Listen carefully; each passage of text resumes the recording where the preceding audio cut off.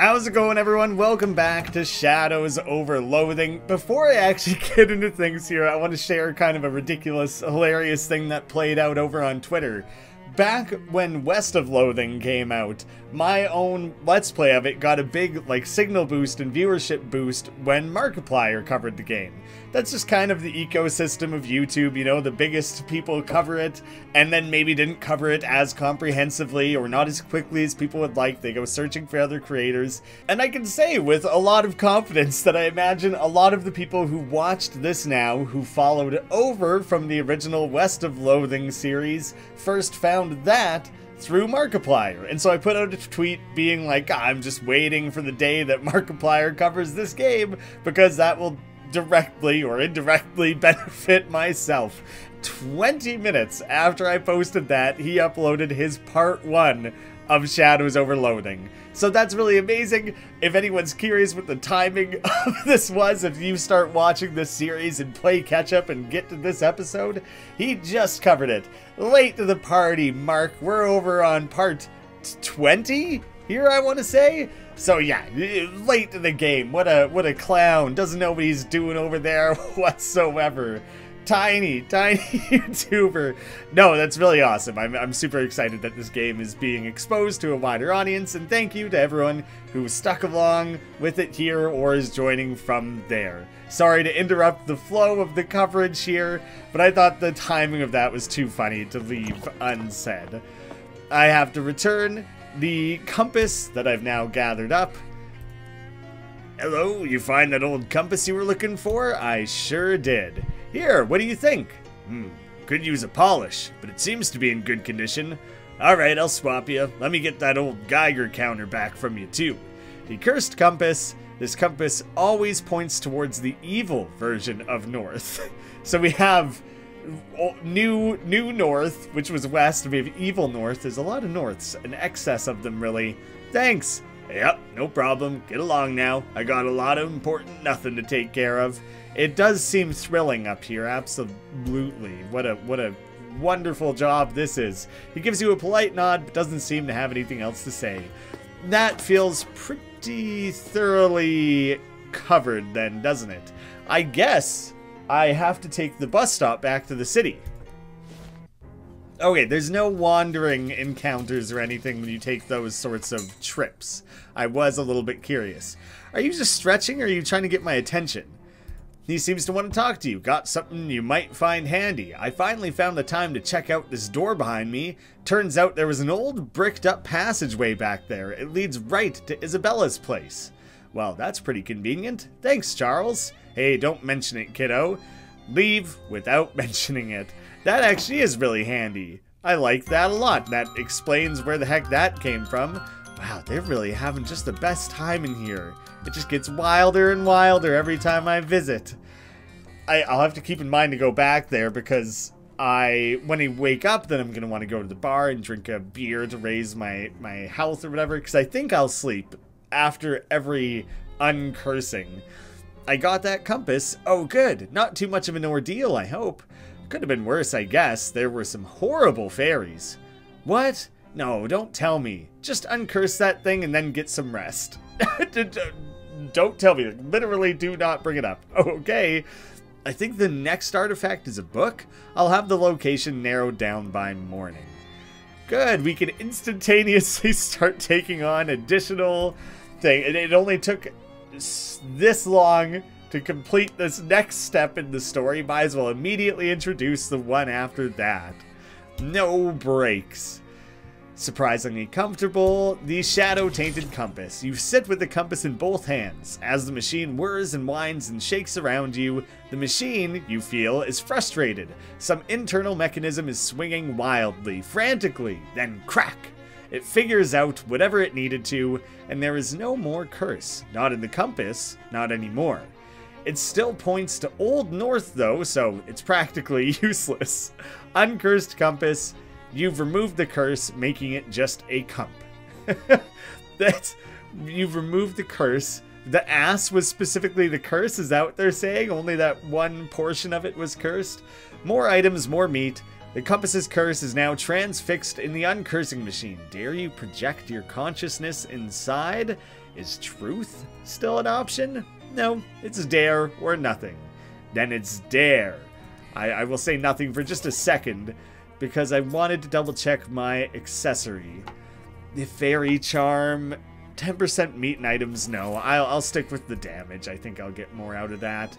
Then into the compass's curse I shall go. Very rainy. You're just kind of enjoying it? Potentially dead. Gosh, that looks sore. Are we a baseball team who got rained out of their game? This is madness! Uh, thanks, Gerard Butler. Thanks for filling me in. That foolhardy coach is going to get us all killed. We should listen to what coach has to say. What do you think we ought to do? Let's get out of here. Go home. Don't you think things were just fine the way they were? Why are we doing this? You mean playing baseball? He looks you dead in the, in the eye and manages a nervy chuckle. Yeah, that's right, kid. Are we not playing baseball? Am I off the mark here? We should listen to what coach has to say. Like him or not, he's our coach. We ought to listen to him. People say not to change horses in midstream, but what if the horse is trying to get you bashed in the head with a baseball? That's a horse worth changing. And trust me, I know from horses. I saw one once. All right, we'll see ya. That's it. You just want to tell me about the single time you saw a horse? They're not having a good time at all. I'm disgusted that it's come to this. We all know you're the weak link on the team. Some would say the team accountant shouldn't even be allowed on the field. Oh, maybe that's a difference between leagues. You know, the American and the National League, the pitcher only has to bat in one or the other, and otherwise you have a designated hitter. In this league, the accountants take part. Is the bat boy going to get involved? The commissioner, maybe? Some would say the team accountants shouldn't be in the field, but you tell me. Did all my years of including you in team lunches and burpees make you into a baseball player? Yes, coach, I'm ready to hit the balls. Nah, I'm, I'm an accountant, that's all I'll ever be. I'm, I'm, I'm ready. That's what I wanted to hear. Your destiny's out there on the diamond, son. Go and hit it into the parking lot.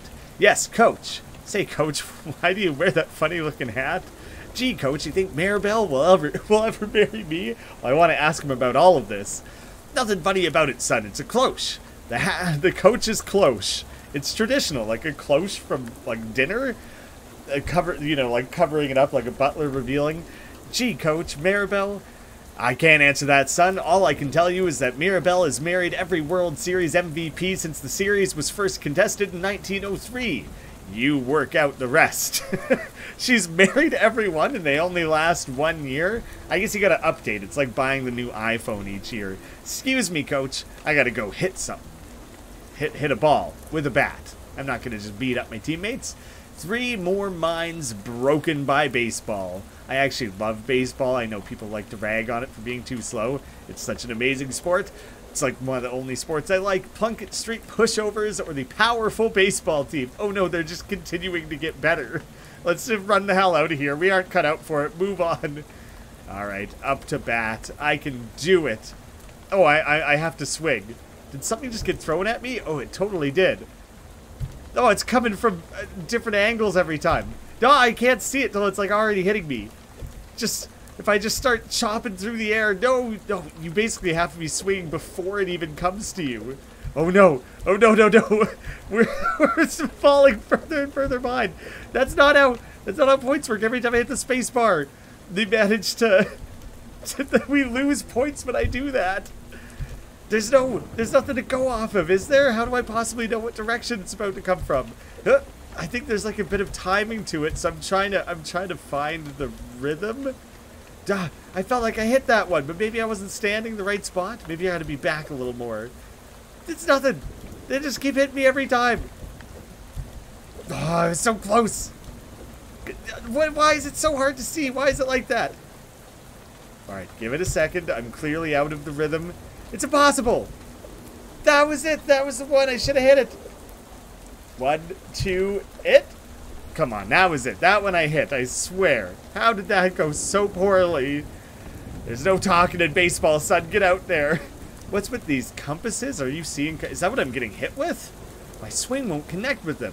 I know it must be overwhelming. All I can say to you is to stay calm and remember that in baseball, it's all about what you do hit. Yeah, of course it is, man. It's the entire game. What's the other team getting points for when I swing? That's baseball, son. If the other team ever feels physically intimidated, that's an automatic five-point penalty. Then how am I supposed to win at all? Quit gabbing and get back out there. Don't you know leaving the field to talk to the coach is a 10-point penalty? Excuse me, coach. I gotta go hit some compasses. Do you have no other advice for me whatsoever? Tell me what to do? I, I, I, I gotta go hit some things. What's the trick, though, man? T tell me, hook me up, give me some, give me something to go off of. I don't even think, I don't even think the order that it's throwing them at me from is consistent. I swear I hit that one. How long do I drag this out? Do I just let myself lose, like, absolutely fully? There's, there seems to be a puzzle here that I'm missing. They're throwing two at once now. Time to just start spamming the space button and maybe I'll hack at something. I don't even care. It doesn't matter how badly we lose by. I'm laying it all out on the field. Pouring my sweat into the game, mixing it in with the blood and the rain. I, I was bleeding, by the way. That happened earlier. Unrelated to baseball, but it's, it's part of the field now. This is madness. Let's go home. Everyone's toast. Take me out of the ball game, not take me out to the ball game. Nobody, nobody has tips for me. All right. What if I what if I just dodge? What if I just focus on dodging? It doesn't matter. Just them flying in at all manages to hit me. Am I I I can't like access uh, an inventory or anything. I don't see anyone else to talk to. No, I, I think I'm abandoning this for now. Because unless Coach has some coaching for me, then I, I'm out of here. There's no point dragging that misery out any further. Any any feedback for me? Any suggestions of how I could better... Oh, that door is to drive me fucking insane. Alright. I am getting rid of the rolling shoes because I honestly think they're obnoxious. I keep, like... It's harder to tell where you're going. Nothing right now. Any tips whatsoever. Looks pretty busy. Do you know... Did you know that compasses used to be different? What? Different how? Like north used to be called west or something. Oh, right. I kind of remember hearing about that. I was only about three years old when it happened, though. It seems really disorienting. Eh, people can get used to just about anything. Nobody complains anymore about how they stopped putting lard in chewing gum, for instance. Well, that sounds rather gross. Would it would it be, or would it just be flavorful and delicious? Just literally chewing the fat? I assume that's not where the phrase came from. Alright, I'm getting back to the lake. That was an unexpected dead end. Uh, I, I assume I could do more there, and I'm just missing how to do more. Instead, I think the vampires will be like a whole thing, and I worry about jumping at that too soon. I think the museum was one of the earliest things we stumbled across wandering. A trio of figures in hooded white robes step out of the streets around you. It's hard to tell if the robes contain person-shaped shadow monsters, or if they're regular people whose faces are concealed by the shadows of their hoods. Well, not the regular people go around wearing hooded robes very often anyway, and whichever it is, it doesn't seem like they have good intentions. Hey, uh, what's your deal? And I guess this is it is more of the shadow figures. They're using that same language. Well, that clears it up. I don't want to surrender. The Shadow Acolyte, Cultist, and Stalker S cannot take more than 5 damage at a time. They they just are limited. I mean, that won't matter for Molly, since each one will be 1 damage, if I'm, like, understanding that how that's going to be calculated correctly. And if that's the case, then I might as well throw this around to get a little bit more damage out there. Oh, three different enemies, so it won't double up on anyone. I was hoping that would be the case. But now they're low enough in, in health that, you know, a, a single shot can take them down. Because if they had even just as little as like six or seven, if, if I'm understanding that correctly, it wouldn't have worked. Can't take more than five. Is that has that been true of these shadow beings the whole time? I didn't even realize that that slab was there. Maybe it's new. It, there's a chance it wasn't there before. Fierce Waggles. Oh, Nurdle. Just so poisoned. You won. All the black smoke leaks out of the robes pretty quickly after they're beaten, so you don't get chance to question them any further. Not that it probably would have been any more effective than the first time. I mean, it's first time questioning them when they're wearing robes. Who knows what kind of differences of opinion they may have in that context. There's nothing that way but an empty parking lot at the Sandwich Museum. The village of Sandwich was home to a terrifying witch cult until all the inhabitants were convicted and executed in witch trials in 1692, and the village stood empty and uninhabited for hundreds of years. Come explore the town and learn more. This house was the residence of the Danforth family. Step inside to learn more. Oh, the Danforths, an intriguing group. The Danforth residence has been converted into a gift shop. For your convenience, is everything here a gift shop? Why not take home a jar of the sandwich cream that was the village's chief export, besides witchcraft? This black cat is staring glumly at an empty dish labeled Hecate. Funny name for a cat in a witch town. Apparently there's no boon to be had. I thought it would shelves laden with identical jars of off-white stuff. Ah, oh, sandwich cream mayonnaise? I thought it was like peanut butter or jam or something. I'm guessing mayonnaise, if anything identifiable. An elderly woman smiles from behind the counter. She has rubbing paper and sandwich cream. This special piece of paper is for making rubbings of historical graves and such like that. Thanks to advancements in rubbing technology, you don't need any charcoal or anything. Historical graves. Have I been to a graveyard at all? The only thing I can think is those statues that were in the garden. I don't think that was a grave, though. But I'm guessing I could get dates from that to take to the news store. That's not what it is. This condiment purports to be the perfect topping for any sandwich, but the ingredient list suggests that it's just old congealed cream. Adds sleaze armor, whatever, I'll buy one up. I got some meat to burn. Mm, that sounds super tasty. Put Putnam House, which partially burned down under extremely witchy circumstances. Ooh, we have a, a, guide, perhaps? A guard? Either or. The security guard is keeping a close eye on things in here, which honestly isn't very difficult since there's only two of them. They should introduce a security guide. Two jobs at once. It seems like you'd be able to multitask when you only have one person visiting at a time. You have to simultaneously guide them around the tour while guarding them from stealing anything. And if you only have one place to draw your attention, it seems like a win-win. Collect two salaries? You'd be in the money, man. Hello, welcome to Putnam House. Please don't touch the exhibits. Ask him about them. Excuse me, sorry sir, I just get paid to stand here and keep an eye on things. I don't actually know anything about the exhibits. Okay, there'd be a bit of cost to onboarding this guy, getting him up to speed, because apparently he doesn't give a shit at all. Oh, I guess that won't work. uh, this plinth has an old book on it. It appears to be someone's diary. Oh yeah, the little description in the front of the plinth says Diary of Delia Putnam, so that confirms it. Mostly, it doesn't look interesting enough to be worth deciphering the archaic handwriting and spelling, so you flip ahead to the last page.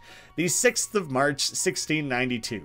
Ugh, I hate that Peter Proctor so much. He thinks he can just go around being as mean as he wants to everybody just because he has lots of money and lives in a big house and all. I should have used a much stronger curse. It would have been worth the trouble. See, this is old enough that I don't think it would be in the newspaper records, and also there's not like a story attached to it. Hey, I have one of these little rag dolls in my home. Antique rag doll, take a look. This rag doll has a bunch of old pins and needles stuck into it, and for some reason has the word boring embroidered across its front. The little plaque on the front of the plinth says, witches frequently used special dolls called poppets to curse their enemies. This one was apparently made to target a Mrs. or Miss Boring, although no one of the name is listed in the town records. And then in tiny text at the bottom of the plaque, the pins were not found with the poppet, but were added for demonstration purposes. Interesting, everything in this house was destroyed by fire except these two objects, which were found concealed inside a metal box. I, I thought for sure you'd be able to look at the fireplace. Hmm. A, like, voodoo doll, witchcraft of some kind. I Like, the two of those items together, I don't see an immediate connection. Like, I guess she could have tried to do a curse against that like the the connection there is obvious, but whether it's a part of a larger puzzle or something is what I mean by that. This trough may have been used to bathe human sacrifices before the ceremony. We don't have evidence of that, but it seems possible. Yes, please, let's assume and, and predict and infer other potential uses of this trough. We actually use this well for water, so please don't throw meat into it. I can fish with the hot rod. I was absolutely going to throw meat in it if that was an option. I guess a lot of people did. 23 meat was just left waiting in there, so I'm not the only one who have that instinct. 23 again, reeling in the cash. Is this purposely meant to be the number 23? Ah, it came up three times, so I think that was intentionally meant to have an eerie quality. It looks like you've caught everything that was in here. Wait, can it say anything? Uh, I, I, I thought maybe it would have changed. That would have been funny. Nice day. Nah, none of none of that's new. Gazebo, nice gazebo. The sign reads Sandwich Gazebo. Vagrants not welcome. That's not very friendly. Do gazebos have to be friendly? Sandwiches Church also served as an ersatz town hall, courtroom, racquetball court, and dark sorcery place. That seems like it encourages witchcraft, which does not seem to be what this town would want. In 1692, the inhabitants of Sandwich were executed in the witch trials that were popular at the time, as evidenced by this old signpost announcing one such trial. So here we are looking at the signpost that the signpost is referring to. This sign is written in rough black wax.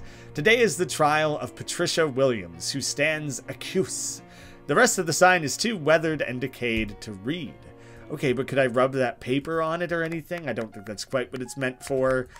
An old and dilapidated church altar. There are some brown splotches on the corner that could possibly be bloodstains. The altar where the town's witches performed their horrifying sacrifices. Note the bloodstains. Well, they really make it seem like the witches had the run of the town. If they were using the church to, to perform their sacrifices, like, seems like they got on doing whatever they wanted. There was a chance. There was a chance there would be, like, something in between the pews, so I thought I would check. The wealthy Proctor family owned the biggest and most conveniently toilet adjacent house in the village. That's gotta raise the resale value. This chessboard has clearly been left out on display as an allegory for the battle between good and evil. Black is winning, representing a warning for all good-hearted people to be vigilant against the encroaching forces of darkness. Can I just get in there and like move pieces around? I gotta practice, I gotta get better. These dried fronds are of no historical significance. You're not frond of this plant. This arras appears to depict several important ancestors of the Proctor family line though due to the low resolution of embroidery used at the time, it's impossible to discern exactly who. I wouldn't have expected them to have been concerned with resolution back then. Who knew that was such a ancient way of measuring how pixelated something was?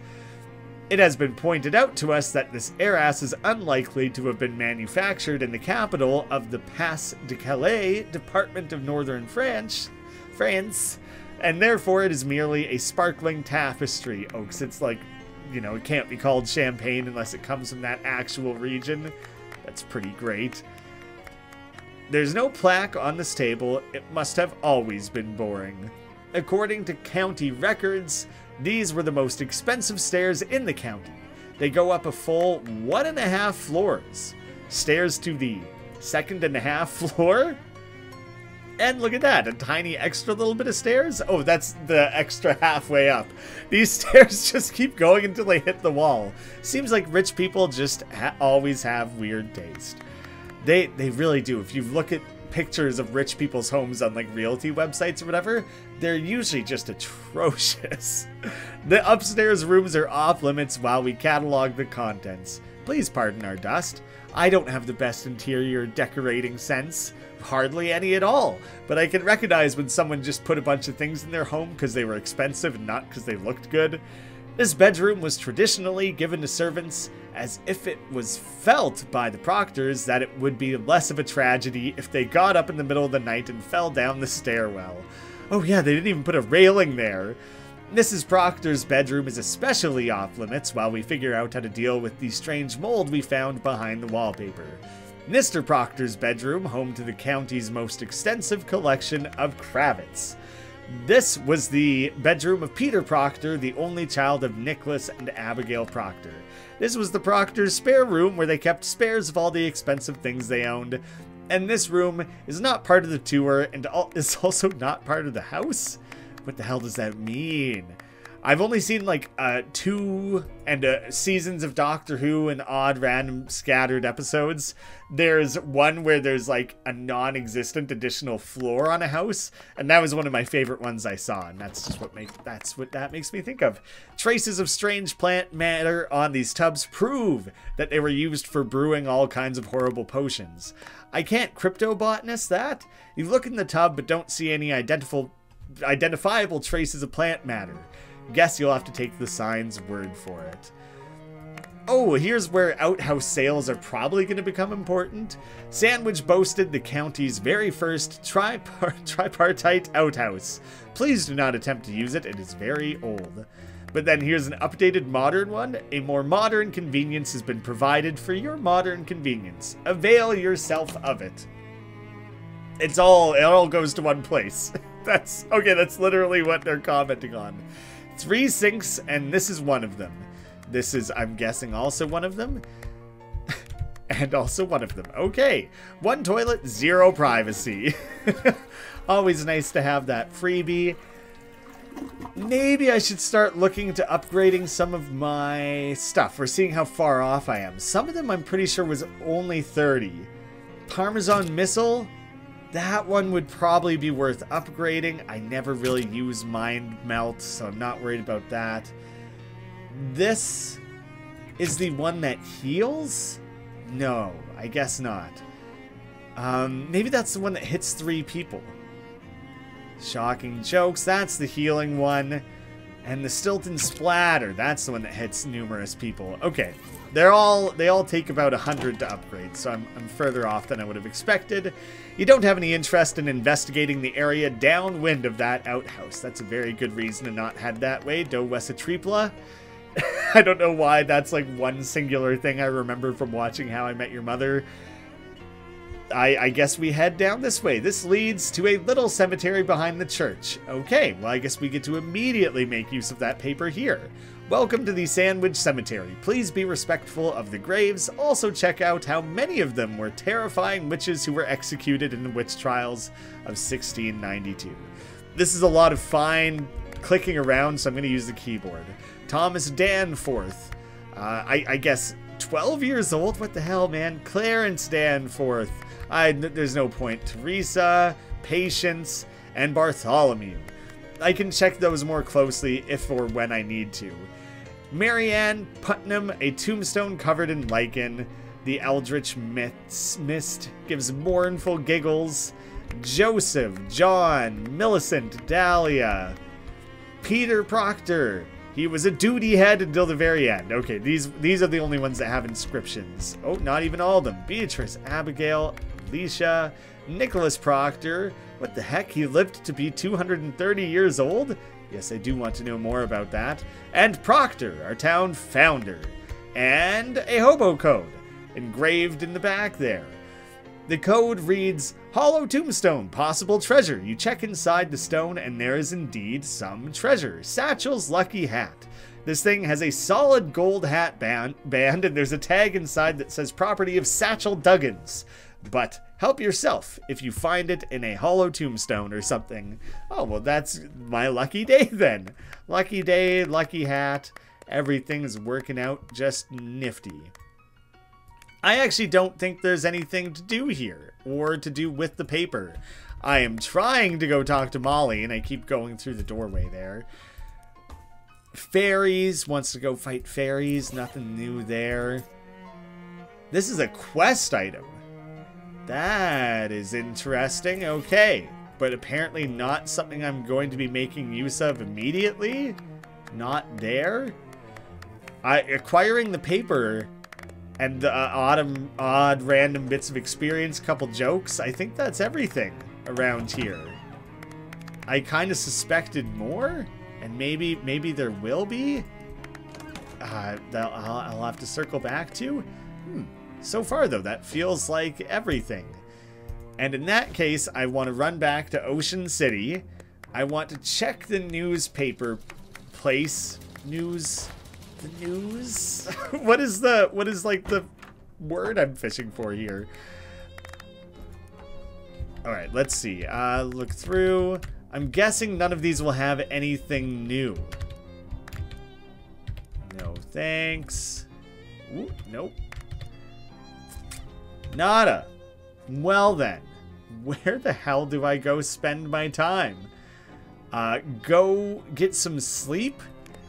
I can sleep things off even though I didn't resolve the curse?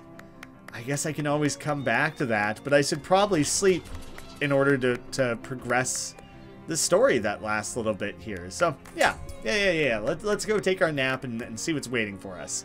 Charles flags you down. I got some applicants for the new storefront I fixed up over there on the other side of the Cola Wars surplus. Got a second to pick one? Yeah, sure. The first is Bertram's Bakery. Bert's a buddy of mine from my restaurant days. He makes a good loaf. The second is Jardware's Hardware.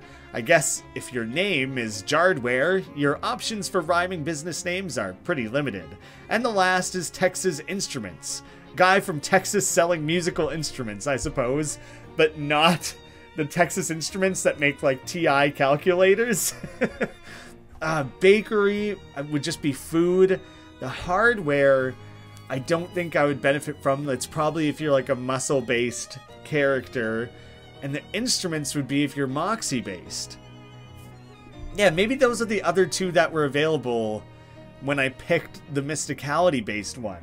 So in that case, I guess I will ask him to open a bakery? Okay, I'll get him moved in and get the next storefront ready for applicants. Thank you very much. You hang the cow skull over your desk, and if anybody asks, I'll tell them you killed the cow yourself. Thanks. That's I appreciate that. Everyone will think I'm so tough. That's all I really want. The knickknack shelf there's an old rag doll, doll on top. Must have been left from the previous tenant, but I can't actually like interact with it. I can just sit on this for fun. Why not? Ah, you sit for a moment and reflect on both your power and your responsibilities. Heavy is the hand not the head. you have surveyed your kingdom and decided which parts of it need to be hit really hard with thrown with a thrown wrench. Plus 3 to ranged weapon attacks. Is that permanent? Wow. Okay. I'm very glad I came back and did that. I don't think there's anything I would... I've, I've, I've bonged and binged that as much as possible. Hot damn. That was a, a great little benefit to get at the end there. You know what? I think I will start off the next episode with my rest and sorting some of my affairs and all that, exploring whatever weird little story happens in my dreams. Thank you all so much for watching, and I'll see you again soon.